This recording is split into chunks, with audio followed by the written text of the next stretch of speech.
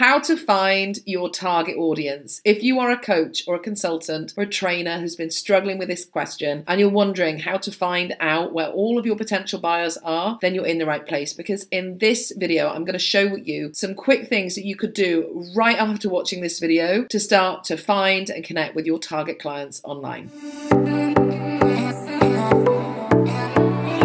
So, before I go any further, why should you listen to what I have to say on this subject? I'm Bernadette Doyle, and for over 25 years, I've been helping coaches and consultants to get more clients. And the territory has changed a lot in those years. And one of the things I love so much is now it's never been easier to find your target audience online. And a key reason for this is social media. One of the great things about social media is made it so easy for groups of people to congregate online, to share challenges and share struggles and support one another. And those places where they're congregating is a perfect place for you to find and connect with your target audience. Okay, so how do you find your target audience using social media? Well, first of all, you need to be really clear who is it that you want to attract? So you need to have a really clear picture of the person that you're looking to identify, what their age is, what their interests are. And I really want you to step into their shoes and ask yourself what is it that they're saying to themselves about their situation? How are they describing?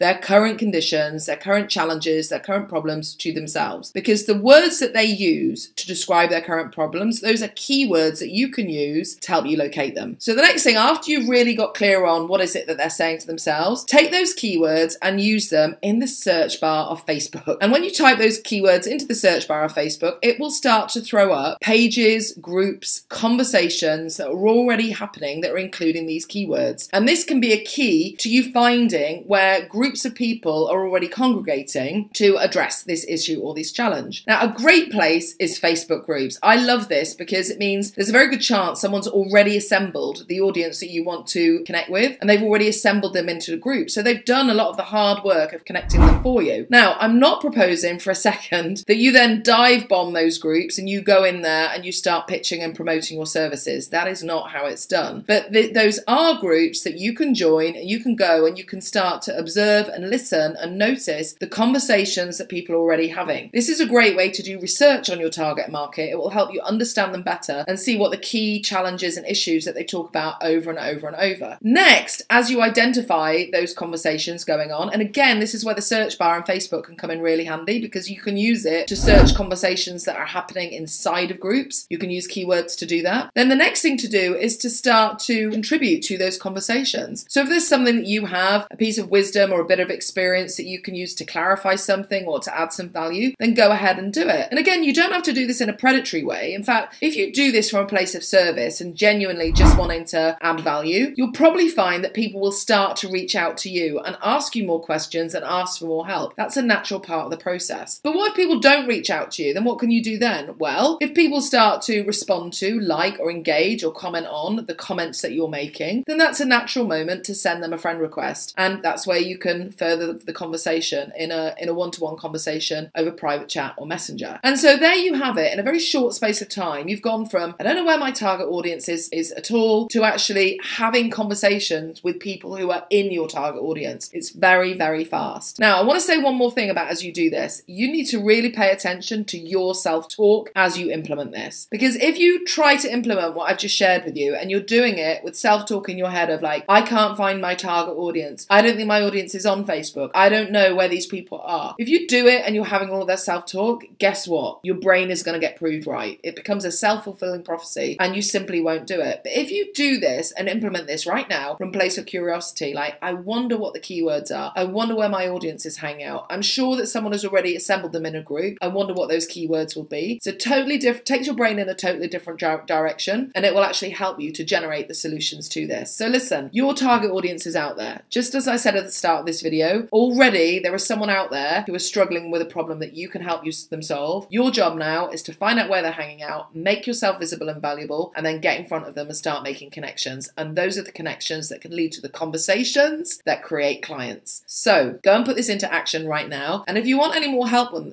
this, I do urge you to check out my PDF, Get Clients Make Money. And in it, I'm going to show you the shifts that you need to make to go from where you are, not knowing where your target audience is hanging out, not knowing where to find them online online to actually getting clients and making money. I'm going to lay it all out for you. So go and download that now, and I'll see you next time.